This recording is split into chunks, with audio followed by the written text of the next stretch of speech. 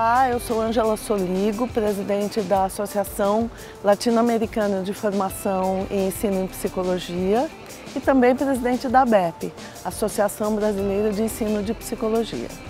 Este ano, a UFEPS e a ABEP, juntamente com o Conselho Federal de Psicologia, somos responsáveis pela organização do sétimo Congresso UFEPS, que vai acontecer na Universidade Federal do Rio de Janeiro entre os dias 5 e 8 de setembro. Nós estamos organizando um congresso eh, com muito carinho, eh, com muitas discussões importantes, conferencistas de referência no cenário latino-americano, pautando as questões importantes para a psicologia.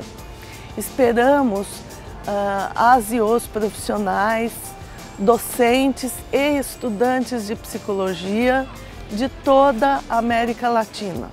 Vamos recebê-los de braços abertos nessa cidade muito acolhedora.